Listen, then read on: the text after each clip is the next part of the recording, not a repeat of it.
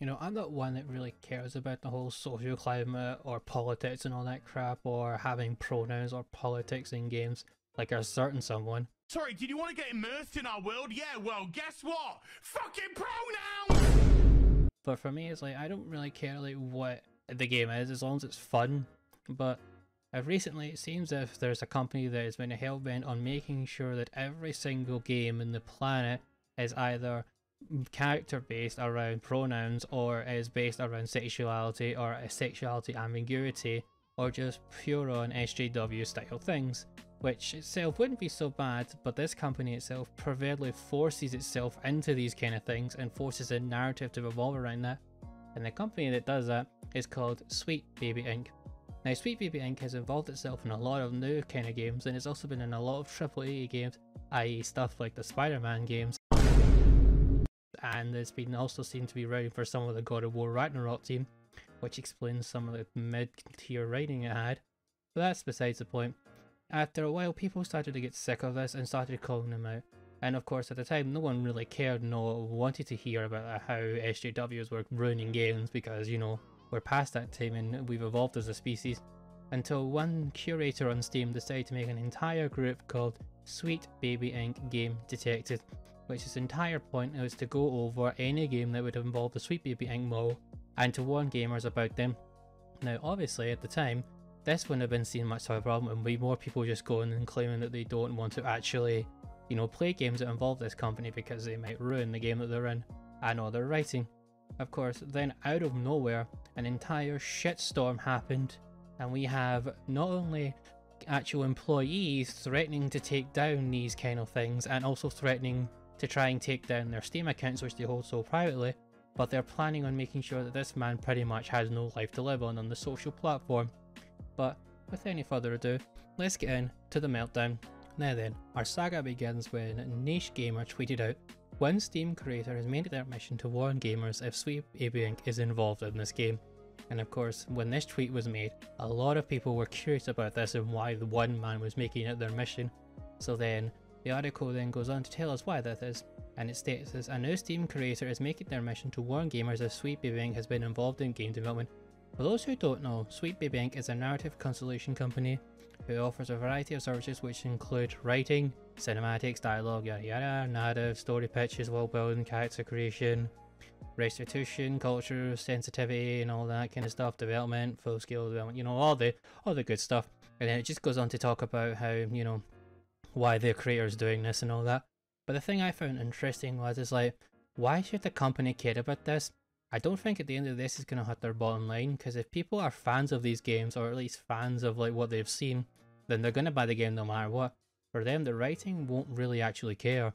And the fact is that these companies really are going out of their way to install Sweet Baby Inc. into their narrative with all these kind of developments is a bit suspicious, but you know, at the end of the day, if it means it, that they can use less money and get more profits, I'm not surprised that big companies are going to do this.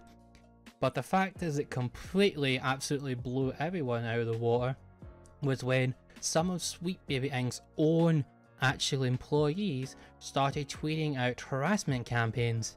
And one of these employees was called Chris Kane.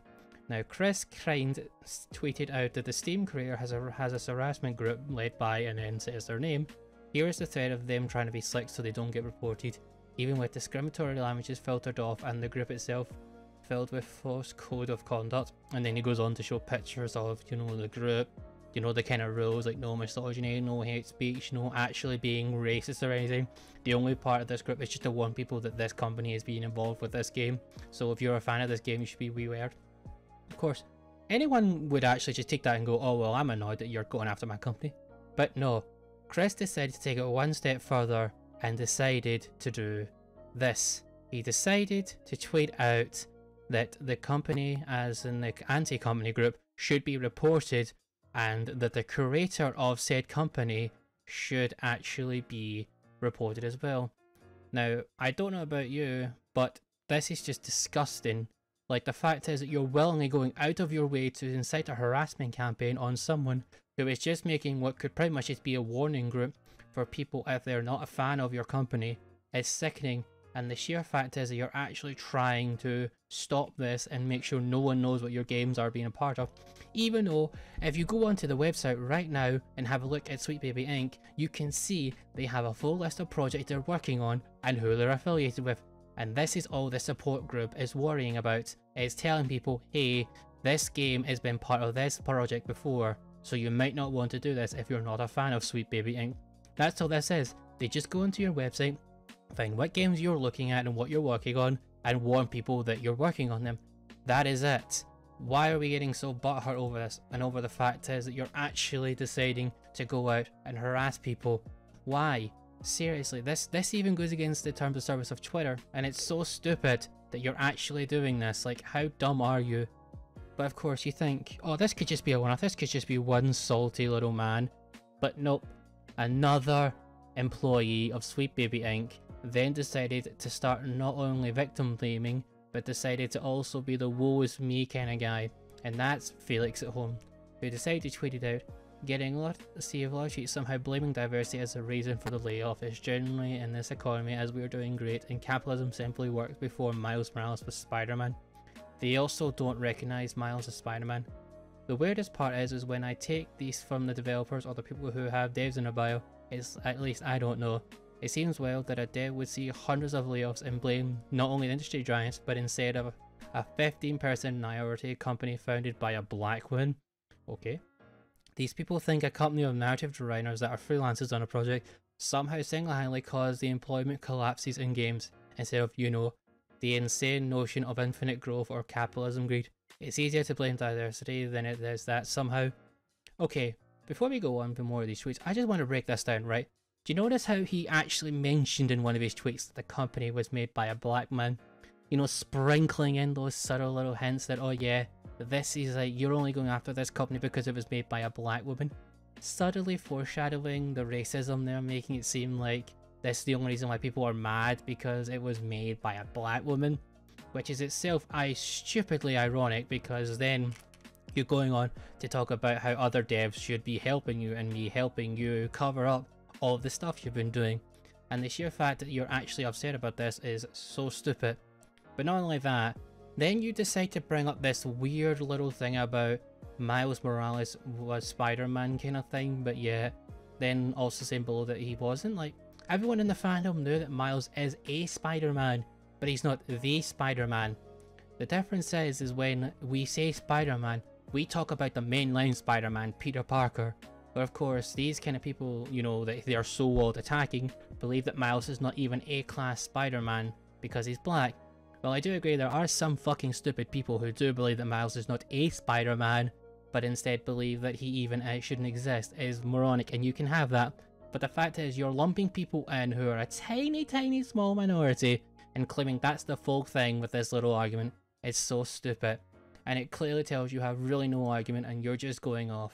Anyway, let's continue on with what this stupid idiot had to say. He goes on to say, the other part of this doesn't matter if you're telling them the truth. They think DEI just steps in and changes the whole game. That careers are forced by to see Unreal and have the government, BlackRock I guess, as well as just perks in general, to make games more inclusive. Fighting misinformation would be great, but social media plus YouTube is not equipped to hold people accountable for doing their research in such good faith. Just getting hits and proving their points in an absurd event of confirmation. It's wild out there, and nothing changes. Nothing. Sorry, no one has changed things. The number of people who understand that spreading information just leaves them to be racist in public with no consequences has increased dramatically. That has changed, probably requires some fighting from those authority. Probably. What the fuck is he talking about? What is he going on about now? Is this like, is this another schizo rant or something? Like, first you're talking about misinformation, right? But yet, where are you going to talk about the fact is that one of your own employees was inciting a harassment campaign against a user and saying that their Steam account should be banned because they made a group which does nothing to you but hurt your bottom line and your reputation. But the fact is that you're not willing to talk about that but at the same time also claiming that everyone should be, you know, stop the spread of misinformation. I don't see any misinformation being spread. All they've done is just put up a group that warns people about the games you're working on, which can be found on your website. So if you don't want people to find out who or what you're working on, stop putting it on your website and stop blaming others for your misinformation. Maybe you should be held accountable for the misinformation you're spreading. Hmm, funny that, isn't it? You want to stop people spreading information that you seem as fake, but yet then you're completely fine with your colleagues and all that going out and attacking people. And the funniest thing I always find is like these people always go back to the same thing of misinformation, misogyny, racism, horrible hatred, um, you just hate black women succeeding kind of thing. It's like, are you gonna find something new to use eventually, or are you just gonna keep going like this? Because at the end of the day, this is all this is.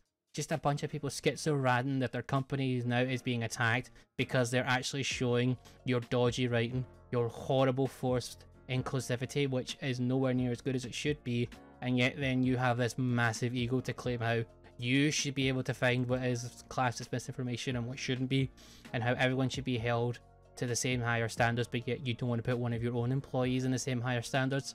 Yeah, mate, go fuck off. Seriously. You're just a bunch of little snowflakes. I fucking hate that word, but you genuinely are. You're just a bunch of little snowflakes that clearly don't understand the internet anymore, and you're only sitting in a small little bubble. Seriously, you just need to either just log off Twitter or just literally put yourselves in private and just keep on working in your company. Because at the rate you're going, your company won't last much longer.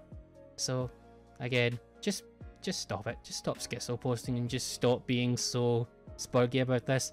No one cares about misinformation. It's only been a little group that's out here trying to warn people.